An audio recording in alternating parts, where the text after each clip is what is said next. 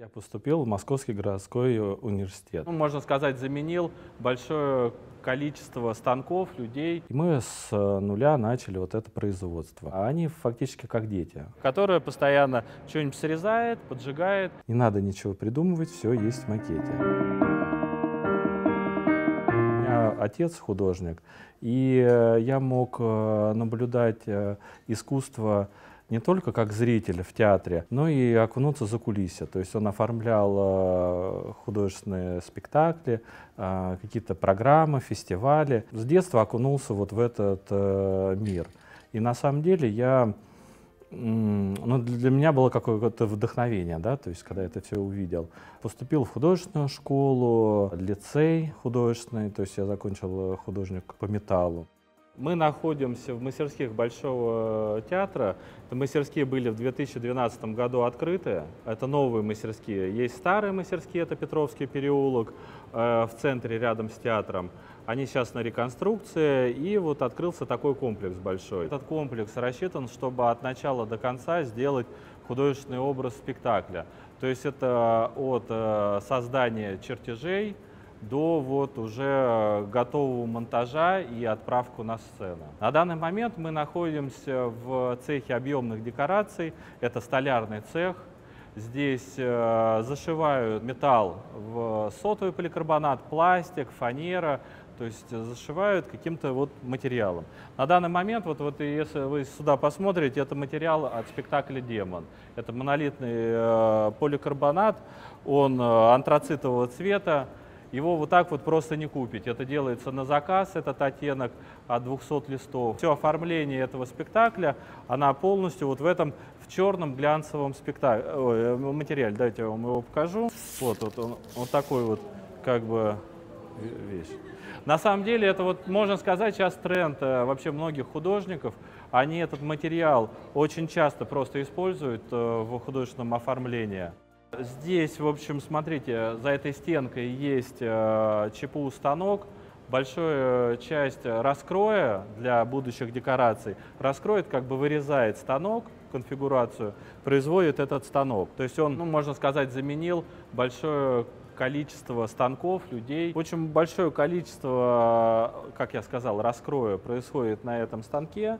Это э, сама столешница, на которую вы кладете заготовку. Это может быть монолитный поликарбонат, фанера, МДФ, ну разные материалы. И вот есть там сменные фрезы, похоже на сверло, если честно. Вот. Оно вставляется в шпиндель, мощная такая как бы дрель, которая раскручивается до 30 тысяч оборотов. Вот. Ну, в зависимости какой материал, эта скорость как бы регулируется. И эта фреза уже начинает постепенно входить в материал и вырезать.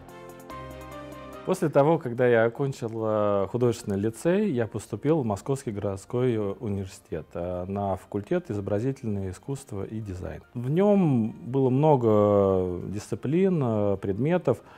Особенно отмечу вот которые пригодились потом в дальнейшем э, работе здесь, это декоративно-прикладное искусство. Каждые полгода мы занимались каким-то творчеством, резали дерево, керамика, гобелен, батик. Это был как бы такой небольшой фундамент, потому что в дальнейшем э, ну, я понимал, что заниматься одним видом там, искусства мне не хочется. Хотелось как бы вот разнообразить. А вот бутафория, она всеобъемлющая. Чем больше вы знаете материалов, технологий, тем вам проще как бы это изготавливать и применять это в имитации того или иного изделия. После того, как я окончил институт, э, стал работать педагогом. Э, это очень интересная, но в то же время сложная профессия. Какое-то время я проработал, пришла повестка, ушел в армию, и там какая-то произошла переоценка, вообще чем мне хочется заниматься. Когда я вернулся, у меня отец на то время работал начальником участка в Большом театре, это на, в старых мастерских, и я стал работать в подрядной организации, то есть мы выполняли какие-то сложные там а, задачи, постановки, которые ну, в какой-то или иной степени не получалось сделать, либо просто времени не хватало. И вот мы как на подхвате, наша организация изготавливала для театра эти декорации. Начальник, заведующий по производству меня заметил, как-то мы с ним пообщались, и когда вот эти мастерские э, построились в 2011 году, он меня, я думал, просто возьмет там каким-нибудь бутафором, либо еще что-то. Он э, сказал, давай попробуем тебя сделать заместителем начальника цеха. И вот фактически у нас тут было одни начальники цеха, пустые стены, и мы с нуля начали вот это производство. Я вот за головой как бы окунулся в это производство, и для меня вот эти вот 10 лет пролетели просто как один день. То есть очень увлекательная и интересная работа. У нас есть несколько площадок, для которых мы делаем декорации. Это основная сцена, новая сцена, Бетховенский зал и театр Покровского. Вот этот театр Покровского, ну, около, наверное, пяти лет э, мы для него уже делаем э, э, декорации, камерный театр небольшой. И вот «Аскольдова могила» — это вот спектакль именно на, в театр Покровского пойдет.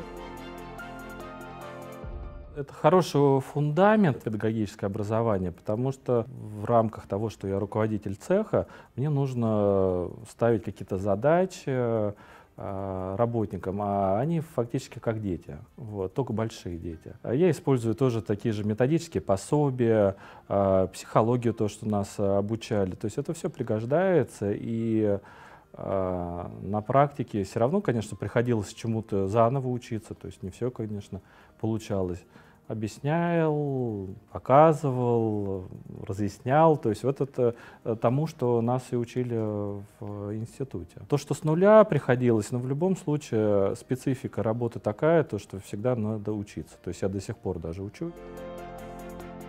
Наш комплекс, он, можно сказать, уникальный. Вот эта площадка, она нам помогает полностью собрать здесь спектакль. Тут есть штанкеты, которые тоже вот эти вот мягкие декорации можно подвесить, посмотреть. И я вам сразу скажу, вот сколько не собираешь, то сделаешь все вроде четко, точно, но все равно как бы эта сборка показывает какие-то вот проблемы, э, нюансы, и мы их переделываем здесь.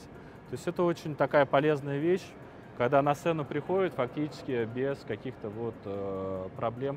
Это Борис Гудунов. На данный момент они пришли на пропитку. У нас есть в театре специальная служба от МЧС пожарная, которая постоянно что-нибудь срезает, поджигает. Если э, поддерживается огонь в, те, огонь в течение 7 секунд, дальше горит, то эта декорация сразу бракуется и привозится к нам. Мы вот этот вот брусок пропитали противопожарной краской и э, солью специальными, какими-то полимочевинами там или еще что-то. Если честно, это химический уже цех, он обрабатывает, э, распрыскивает какое-то вещество, которое как бы не поддерживает огонь, это уже ткань пропитывает. И сильно оно не портит визуально там художественный образ. Я помню, мы отмывку делали, по-моему, с 10 или с 20 раза у меня ее приняли. Я уже просто постоянно там отмывки делал, у меня это все, бумага просто в дырки превращалась после этих миллион слоев. Но тем не менее, оно мотивировало аккуратность и дисциплинировало и обучала этим всяким факторам. То есть вообще всеобъемлющие знания давали, которые помогли. Но в то же время я хочу сказать то, что работы еще вот, ну, как бы параллельные, тоже какие-то, э, и с отцом помогал, он в театре работал. То есть я потихоньку э, все равно как бы знакомился с театром и извне, то есть не только в университете бутафорский цех, моя вотчина. Здесь у нас два 3D принтера, один побольше у него диапазон, метр 50 на 50 сантиметров. Сейчас на Аскольдову могилу мы э, выращиваем, либо моделируем, как это назвать, а, некие плошечки, где будет потом красная икра у нас тоже бутафорская находиться. Здесь есть образцы, которые э, мы изготавливали, какие-то есть, которые нам предоставили другие мастерские, чтобы мы тоже как-то развивались. Художник-постановщик и режиссер, они придумывают спектакль, какую-то идею, концепцию, отдают э, конструкторам. Конструкторы по габаритным их чертежам, там еще что-то делают уже чертежи в производство. Поступив эти чертежи, они попадают, предположим, если это объемная декорация, в слесарный цех. Они э, варят из металла эти декорации, а после этого они могут обшиваться там, каким-то материалом. Сотовый поликарбонат, фанера, монолитный пластик, ну, разные материалы. а столярный цех их обшил, и э, бутафорский цех начинает их оклеивать. То есть мы их оклеивали и воссоздаем эту всю фактуру, текстуру, расписываем эти декорации. То есть, ну, это примерно как бы вот обычная декорация, как изготавливается. Ну, художник бутафору, какие э, у него обязанности? То есть, по идее, это э, лепка малых форм, э, роспись. У нас как бы принято называть художник бутафор, но у нас уже помимо художника бутафор, это и операторы на ЧПУ станках, которые делают на 3D принтерах. Мы стараемся как бы эти технологии усложнить и механизировать это производство.